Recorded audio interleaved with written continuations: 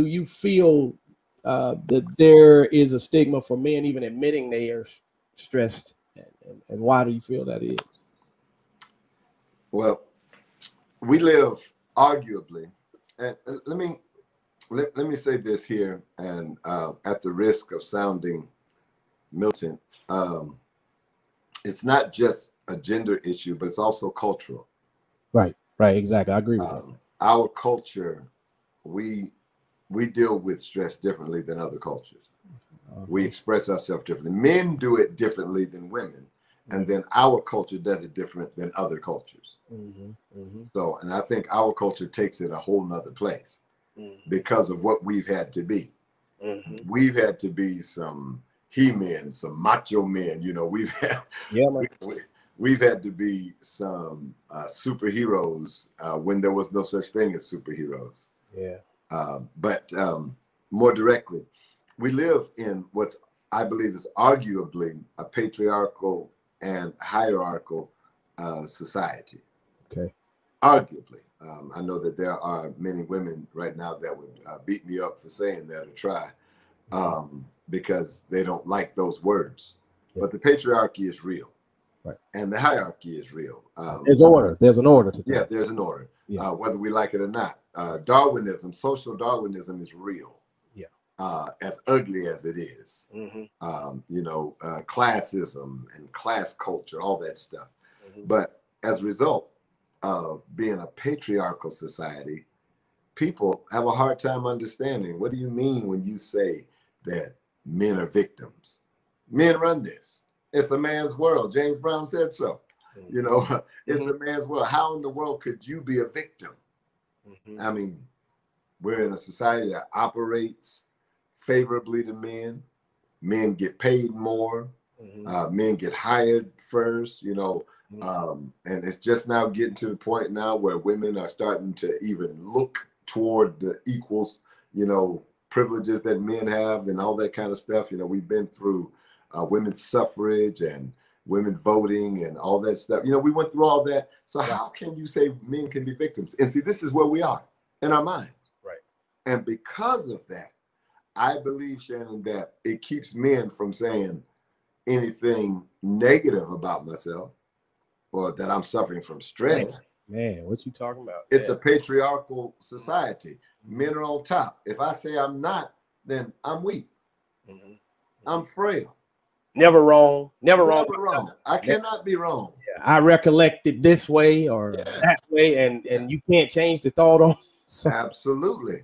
I, I, will argue with you um, about nothing and spin around in circles for hours before I say, you know what? You could be right. You could be right. Yeah. Listen, listen. That don't cost you nothing. That statement you just made is a very short phrase, but it's very hard for people to come to just that statement. You know what? You could be right on that, and that's even what we're doing here. We're just discussing and talking, uh, so you can hear other, other people's thoughts.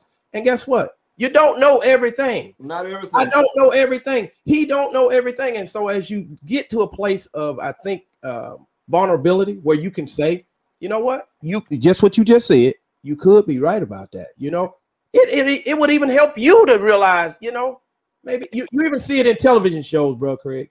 You see people show a version of something. There may be five people there. I think Martin Lawrence, they used to do it quite a bit, where everybody told their version. Mm-hmm. Mm-hmm. And somewhere in the middle, there was a truth. Somewhere. But you go back 10, 15 years, even yesterday, a lot of stuff you you you probably missed a, a point, a key point yeah. that might bring it to exactly what happened, you know. But at the end of the day, a lot of times it don't even matter because you're missing, you, you're losing time for today. Absolutely. Yeah. Absolutely. That's uh, profoundly stated because, uh, you know, the old folk used to say it. They were right. There's always, there's your side, there's my side, then there's the truth. Exactly. and nobody, uh, not only do I not know everything, I don't even know most things and I, I have to just mm-hmm. resolve that. I don't even know most stuff. There's too much stuff in the world. There's there's some folk in this world right now that's forgot more than I'll ever learn. Exactly. And, uh, and and I have to acknowledge that and, and reconcile with that. It's okay. I don't it have to know. Okay, it is okay. I love that. Colonel Sanders said, uh, "Do one thing and do it well." He decided to do chicken. and became okay. a multi-million billionaire. Okay, okay. And yeah. so I don't have to know everything, but what I do know, Paul said it like that. He said, I, I, I don't count myself to have apprehended. I haven't got a grasp on everything, but this one thing, I got this one right. one thing I do know. yeah. Uh-huh. yeah, absolutely. So, and you need and you need to find that thing that you that you that you're solid on and you understand. But I just think with us, I don't even think I see it. Uh, if the stress even of itself, always feeling like you got to be right or have the answer or can't admit that you're wrong, man, that in itself brings a level of stress. That's too much pressure for anybody. I can I can relax when I say, Whew, I don't have to know everything. Yeah, yeah, let, yeah. Let me, let me give you a good example. I love golf. Love golf. Love me some golf, right? Right. Um, and I'm, I'm playing in a four man scramble. I don't want to be the best player on the team. Okay, why not? Because there's too much stress. because if the other three players mess up, they looking at me saying, "Come on, Craig, he's gonna pull us through." You're the, you're the ringer. You're the I want to be the ringer. Yeah, man. And so in life, we were never called to be the ringer. Boy, we're called to be teammates. Yeah. And see, me and Shannon can yeah. do more than Craig can by himself. Ah. Mm-hmm. You see, uh, yeah. uh, uh, uh my, my professor and my mentor used to say to me all the time if two people spend time together that's considerable time and they never disagree, one of them ain't necessary. Yeah, somebody lying too. somebody lying too.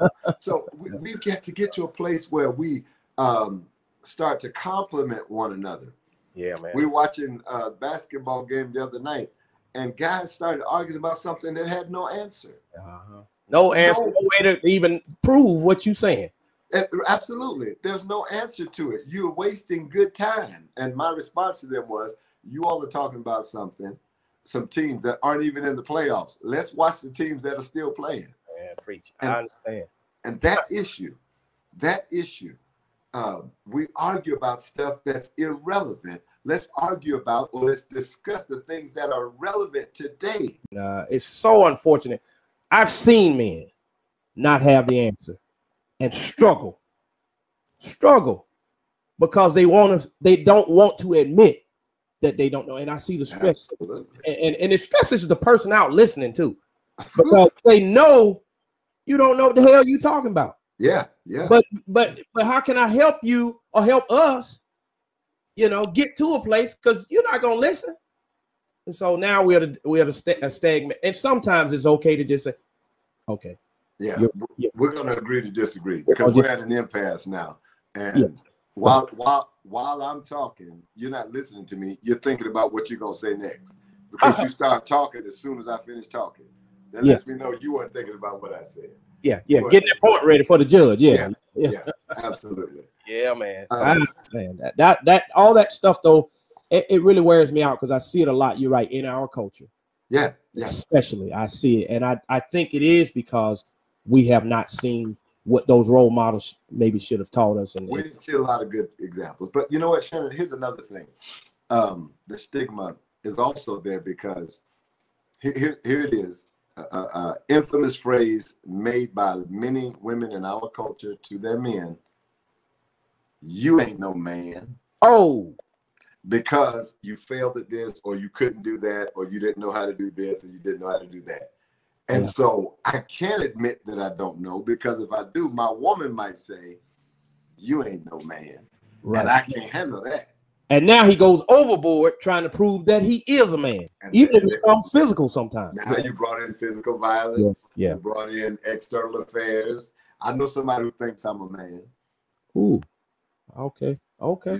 Are you following me? Okay. Uh, I, I don't have to stay here and be rejected by you when I've got somebody who won't reject me. Wow.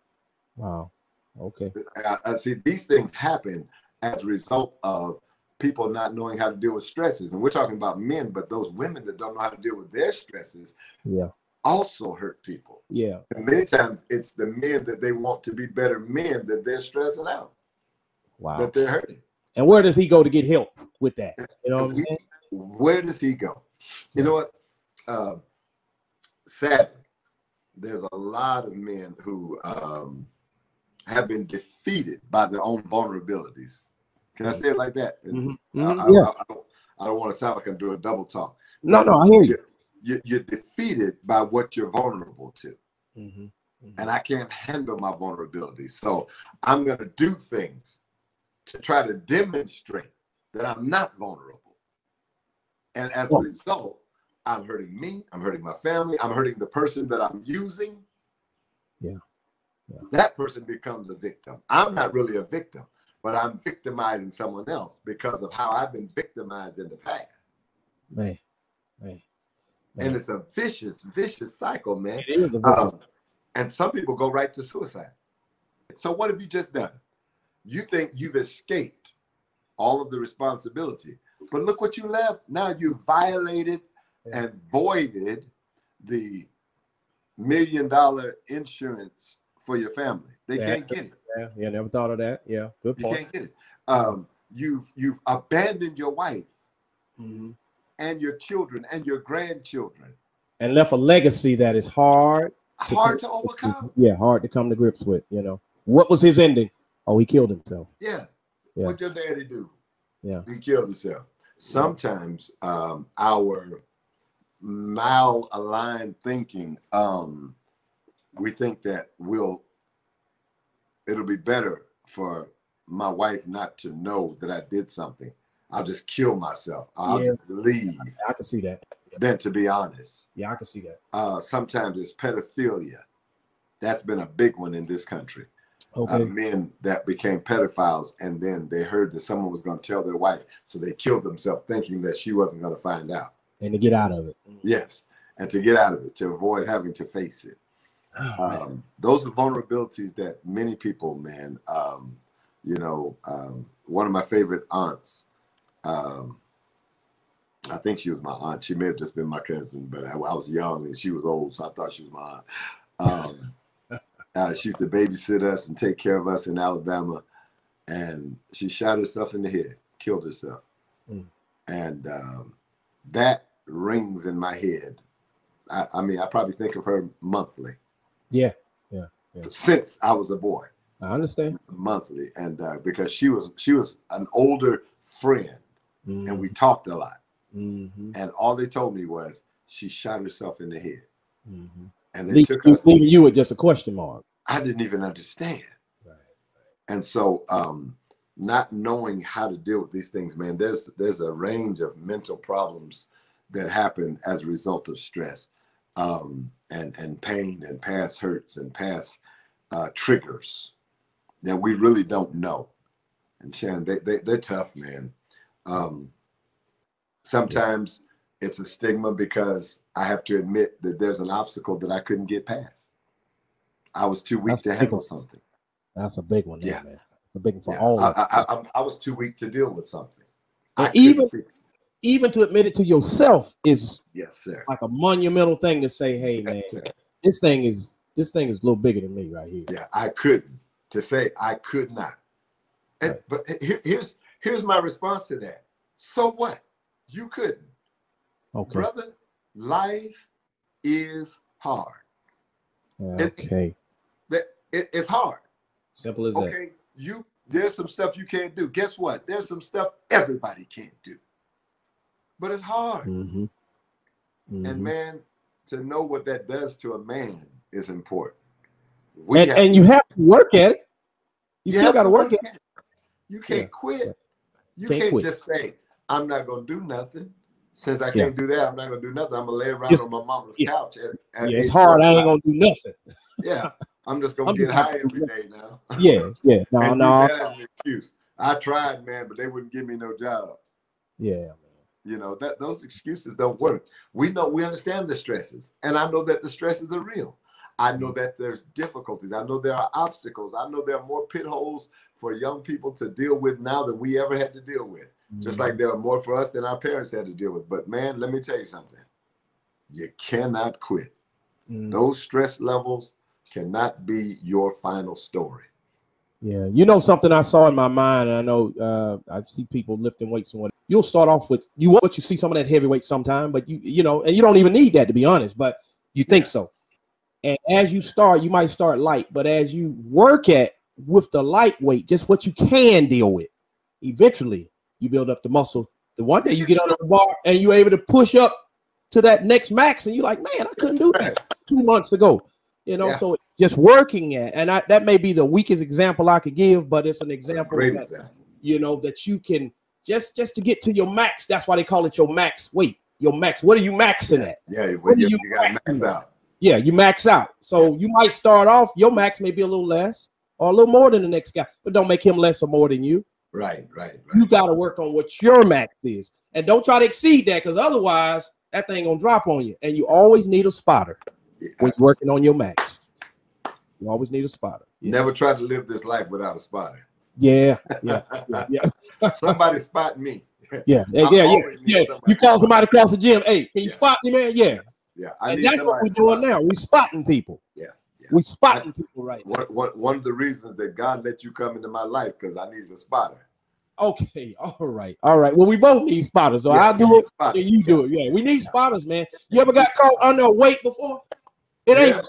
You gotta yeah. eat, gotta get, and then if you get up by that throat, you really done. Yeah, yeah. You, got, you got, almost toss it to the side. Yeah. yeah.